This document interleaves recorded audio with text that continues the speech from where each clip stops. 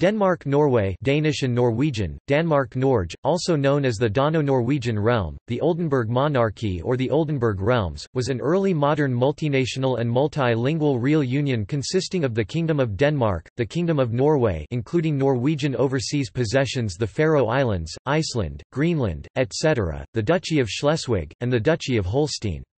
The state also claimed sovereignty over two historical peoples, Wends and Goths. Denmark-Norway also had several colonies, namely the Danish Gold Coast, the Nicobar Islands, Sri Rampur, Tharangambadi, and the Danish West Indies.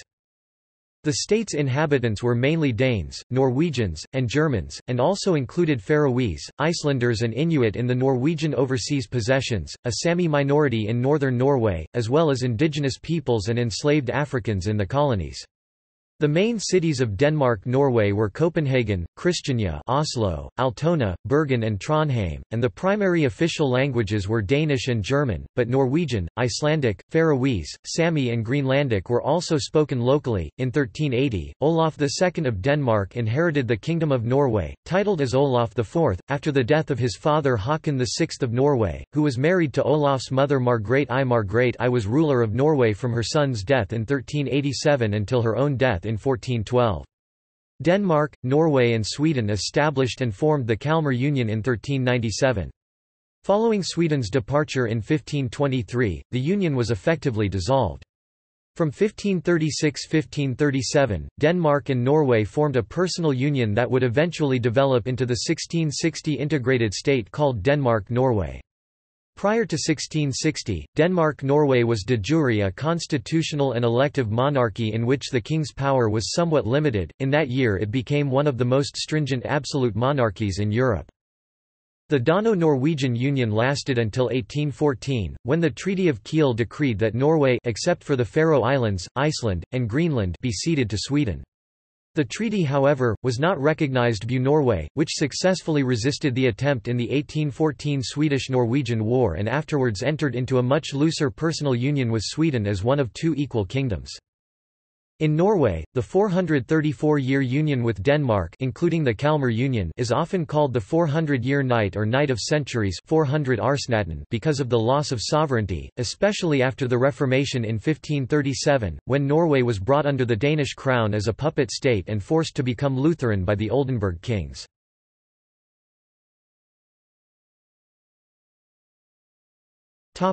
Usage and extent The term, "'Kingdom of Denmark' is sometimes used to include both countries in the period, since the political and economic power emanated from the Danish capital, Copenhagen.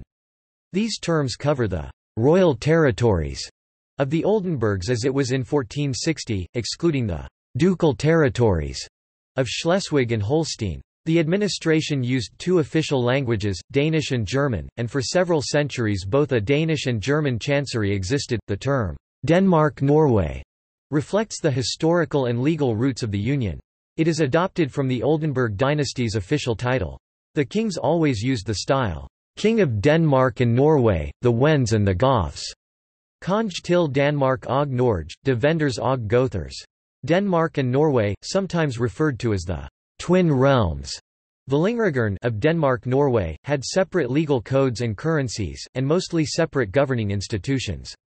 Following the introduction of absolutism in 1660, the centralization of government meant a concentration of institutions in Copenhagen.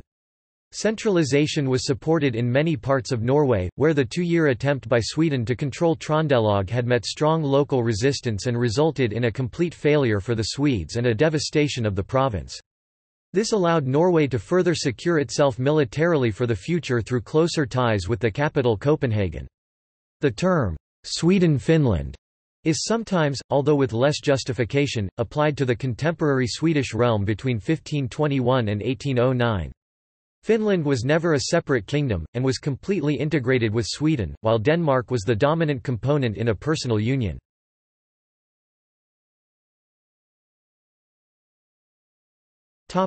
Colonies Throughout the time of Denmark-Norway, it continuously had possession over various overseas territories. At the earliest times this meant areas in northern Europe and North America, for instance Estonia and the Norwegian possessions of Greenland, the Faroe Islands and Iceland. From the 17th century, the kingdoms acquired colonies in Africa, the Caribbean and India. At its height the empire was about 2,655,564. 76 square kilometers, 1,025,319 square miles. Topic: India. Denmark-Norway maintained numerous colonies from the 17th to 19th centuries over various parts around India. Colonies included the town of Tranquebar and Srirampur. The last towns it had control over were sold to the United Kingdom in 1845. Rights in the Nicobar Islands were sold in 1869.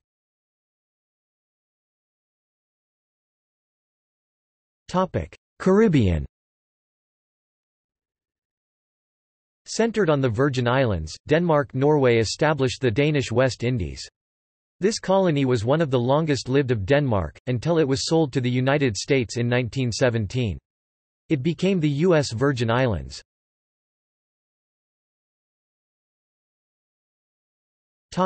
West Africa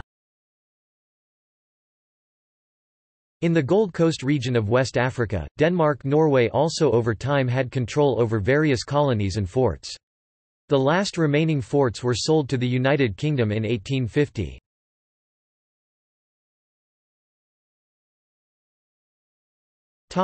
History.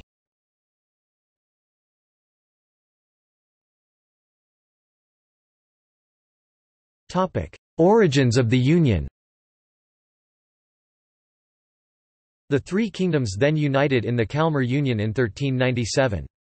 Sweden broke out of this union and re-entered it several times, until 1521, when Sweden finally left the union, leaving Denmark-Norway including overseas possessions in the North Atlantic and the island of Saaremaa in modern Estonia.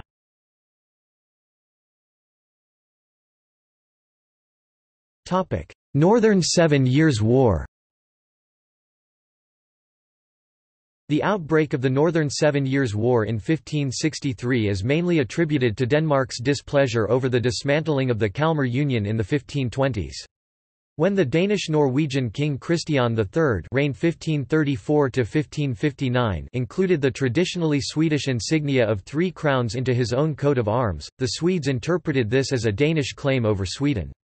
In response Erik XIV of Sweden reigned 1560 added the insignia of Norway and Denmark to his own coat of arms.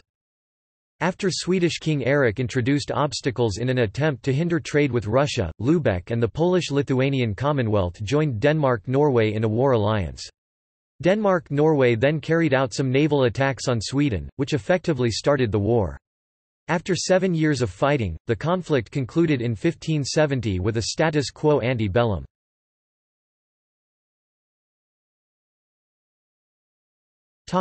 Kalmar War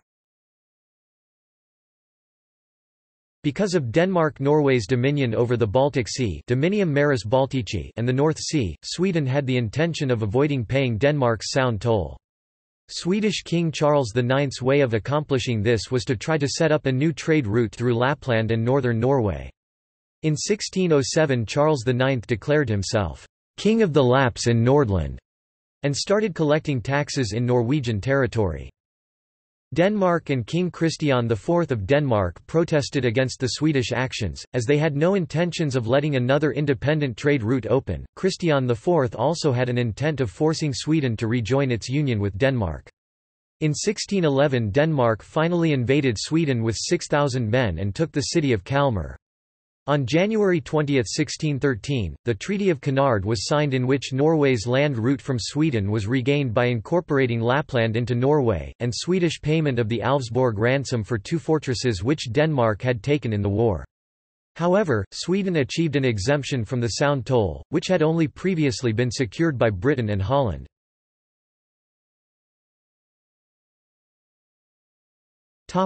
Aftermath of the Älvsborg ransom The great ransom paid by Sweden called the Älvsborg ransom was used by Christian IV, among many other things, to found the cities of Glückstadt, Christiania refounded after a fire, Christianshavn, Christianstad and Christiansand. He also founded the Danish East India Company which led to the establishment of numerous Danish colonies in India.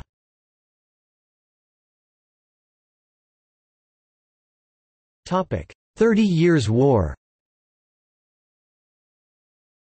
Not long after the Kalmar War, Denmark-Norway got involved in another greater war, in which they fought together with the mainly North German and other Protestant states against the Catholic states led by the German Catholic League.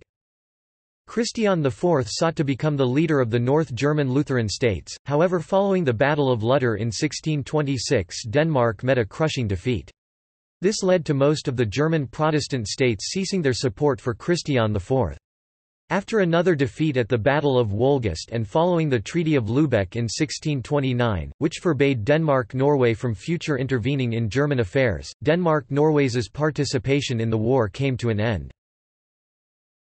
Topic Torstenson War Sweden was very successful during the Thirty Years' War, while Denmark-Norway was a failure. Sweden saw an opportunity of a change of power in the region. Denmark-Norway had a threatening territory surrounding Sweden, and the Sound dues were a continuing irritation for the Swedes. In 1643 the Swedish Privy Council determined Swedish territorial gain in an eventual war against Denmark-Norway to have good chances. Not long after this, Sweden invaded Denmark-Norway. Denmark was poorly prepared for the war, and Norway was reluctant to attack Sweden, which left the Swedes in a good position.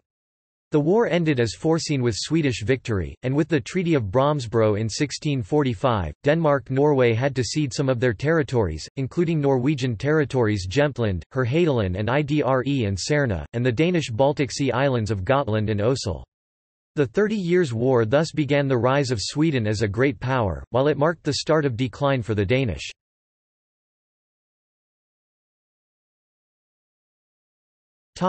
Second Northern Wars The Dano-Swedish War 1657 a part of the Second Northern War, was one of the most devastating wars for the Dano-Norwegian kingdom. After a huge loss in the war, Denmark-Norway was forced in the Treaty of Roskilde to give Sweden nearly half its territory. This included Norwegian province of Trondelag and Bohuslän, all remaining Danish provinces on the Swedish mainland, and the island of Bornholm. However, two years later, in 1660, there was a follow-up treaty, the Treaty of Copenhagen, which gave Trondelag and Bornholm back to Denmark-Norway.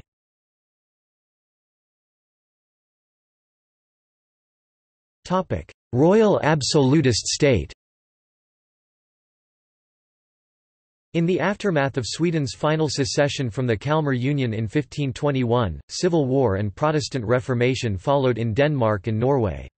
When things had settled down, the Rigsråd High Council of Denmark became weakened, and was abolished in 1660. The Norwegian Riksråd was de facto already abolished in 1537 the Norwegian Riksråd was assembled for the last time in 1537 when King Christian III of Denmark-Norway did a coup d'état in Norway and made it a hereditary kingdom in a real union with Denmark. Norway kept its separate laws and some institutions, such as a royal chancellor, and separate coinage and army. Norway also had its own royal standard flag until 1748, after that the Dannebrog became the only official merchant flag in the Union.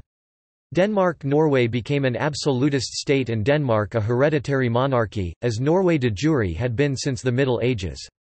These changes were confirmed in the Lex Regia signed on 14 November 1665, stipulating that all power lay in the hands of the king, who was only responsible towards God.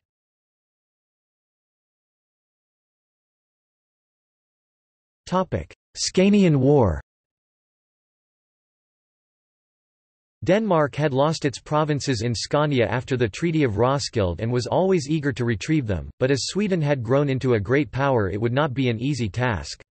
However, Christian V saw an opportunity when Sweden got involved in the Franco-Dutch War, and after some hesitation Denmark-Norway invaded Sweden in 1675. Although the Danish-Norwegian assault began as a great success, the Swedes led by 19-year-old Charles XI counter-attacked and took back the land that was being occupied. The war was concluded with the French dictating peace, with no permanent gains or losses to either of the countries.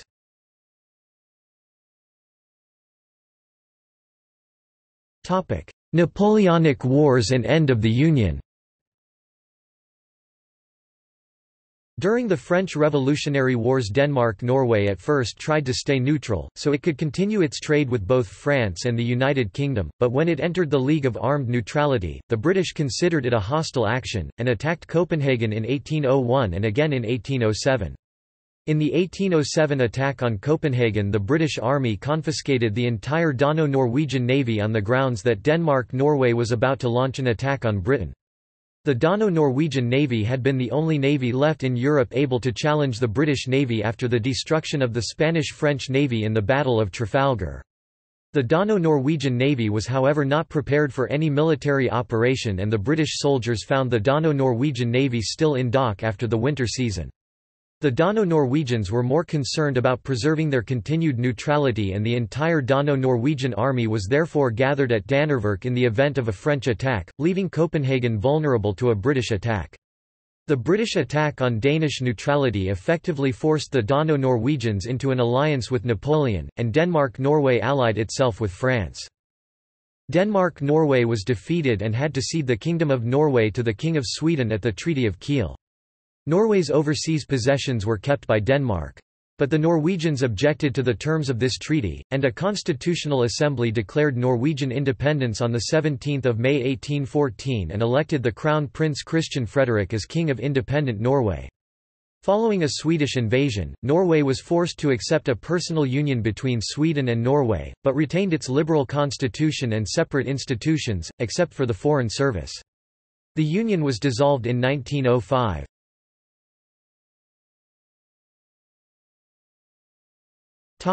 Religion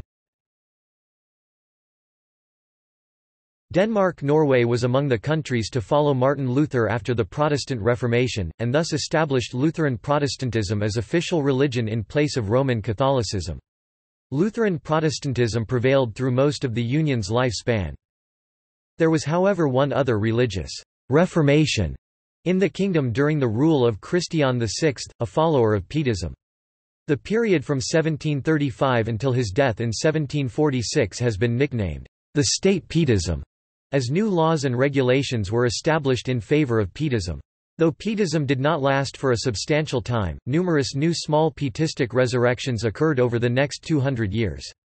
In the end, Pietism was never firmly established as a lasting religious grouping.